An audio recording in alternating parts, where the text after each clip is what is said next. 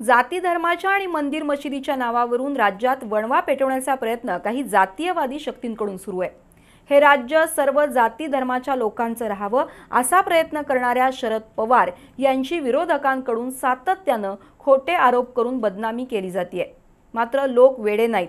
त्यांना राजर्षी शाहूंचा विचार कळतो. त्यामुळंच जातीयवाद्यांना आम्ही पुरून उरू असं प्रतिपादन गृहनिर्माण मंत्री जितेंद्र आव्हाड यांनी केलं. कोल्हापुरात पत्रकार परिषदेत ते बोलत होते.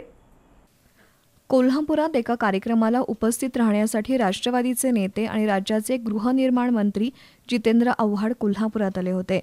या दरम्यान त्यांनी पत्रकारांशी संवाद साधला. राष्ट्रवादी काँग्रेस पक्षाचे राष्ट्रीय अध्यक्ष शरद पवार यांना विरोधकांकडून सतत लक्ष केलं जात आहे त्यांना प्रत्येक मुद्द्यात ओढून ताणून गोवण्याचा प्रयत्न होतोय. कारण धर्मांध शक्तींना रोखणारा शरद पवार हा एकच हिमालय आहे हे विरोधकांना माहीत आहे. त्यामुळे महात्मा गांधी यांना ज्याप्रमाणे बदनाम केलं गेलं तसाच प्रयत्न शरद पवार यांच्या बाबतीत होतोय असंही आव्हाड म्हणाले. जाती धर्माच्या आणि मंदिर मशिदीच्या नावावरून महाराष्ट्रात वणवा पेटवण्याचा प्रयत्न केला जातोय. धर्माची गोळी दिली तर लोक झोपून राहतात हे त्यांना माहीत आहे त्यामुळे त्यांना गोळी देऊन झोपवलं जात आहे मात्र राज्यातील जनता वेडी नाही जातीयवाद्यांचं सर्व कारस्थान ती हाणून पाडेल. शरद पवार यांना सतत बदनाम करण्याचा प्रयत्न होत असेल तर आम्ही गप्प बसणार नाही असा इशाराही नामदार आव्हाड यांनी दिलाय.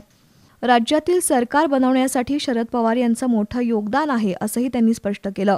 बॉलिवूड अभिनेता शाहरुख खानचा मुलगा आर्यन खान याच्याबाबतही भाष्य केलं. एका निरापराध मुलाला डांबून ठेवणं ही सिस्टीम चुकीची असल्याचं ते म्हणाले.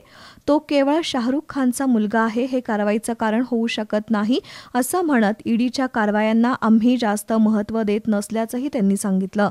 पत्रकार परिषदेला राष्ट्रवादीचे पदाधिकारी उपस्थित होते.